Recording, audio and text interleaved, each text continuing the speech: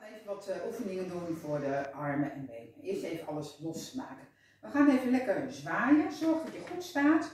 En de armen even voor en achter. En buig lekker door de knieën. Even de armen, schouders, benen losmaken en warm maken. Zorg dat je buikspieren aanspant. En dan gaan we zo meteen één arm voor, één arm achter. En we blijven doorveren. De armen en benen lekker warm. En vier lekker door. En dan gaan we zo meteen met de armen van links naar rechts. En we blijven lekker doorveren. Dus maar naar links en naar rechts. En dan maken we zo meteen even, gaan we iets wijder staan. En we gaan door. En dan komt de hak komt los van de grond.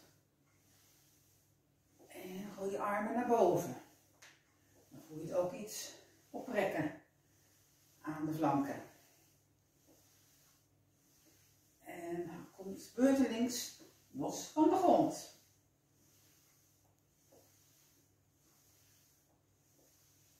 Oké.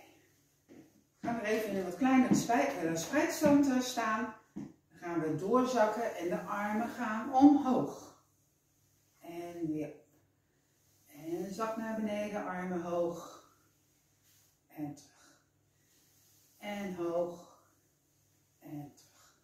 Even de zijkant hoog en terug.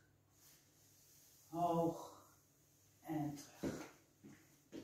Mocht het niet lukken met de armen hoog, dan doe je de armen gewoon tot schouderhoogte.